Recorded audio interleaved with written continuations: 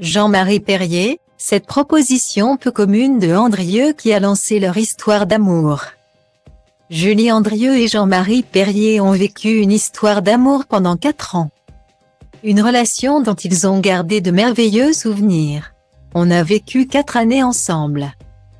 Quatre années merveilleuses, comme quoi, il ne faut vraiment pas s'arrêter à la différence d'âge.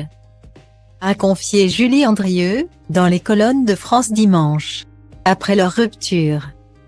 Leur relation a même pris un nouveau tournant puisqu'ils se considèrent tous les deux comme deux membres d'une même famille. C'est ainsi que Jean-Marie Perrier s'est installé chez Julie Andrieux et son compagnon, Stéphane Delajoux. J'habite chez son mec et elle. Ils sont mariés. La famille, ça n'a pas de prix. C'est très rare les gens dont on peut dire c'est ma famille. Je suis tombé fou du mec avec qui elle vit. Mais comme Françoise Hardy, quand elle m'a présenté Jacques Dutronc, je suis tombé fou de Dutronc. D'une façon insensée d'ailleurs. Et là, pareil. Mais c'est normal puisque ce sont des femmes que j'aime et quand j'aime une femme, j'aime forcément qui elle aime.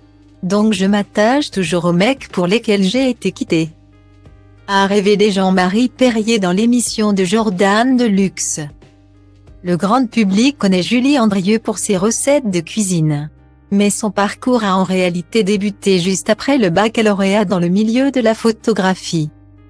Après avoir vendu plusieurs de ses clichés au magazine Les Paris Match, Julie Andrieux croise la route de Jean-Marie Perrier. Incontournable photographe de l'époque.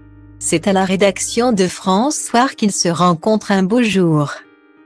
Âgé de seulement 17 ans, Julie Andrieux attire l'attention de Jean-Marie Perrier, qui s'interdit tout rapprochement.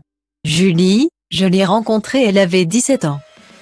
Bon il ne se passait rien bien sûr, là je tombe par terre, a confié le photographe au micro de RTL. Ce mercredi 16 novembre 2022. Le temps passe, leur entente demeure et ils finissent par franchir un cap important pour la jeune femme. Je ne sais pas si elle a envie que je le raconte, mais elle m'a dit, j'ai 20 ans. Je suis vierge, j'ai décidé que c'est toi. Moi je la voyais comme ma fille. C'est une merveille d'intelligence de tact, elle n'oublie personne, elle est incroyable. C'est-il remémoré? C'est ce qu'on appelle être cash.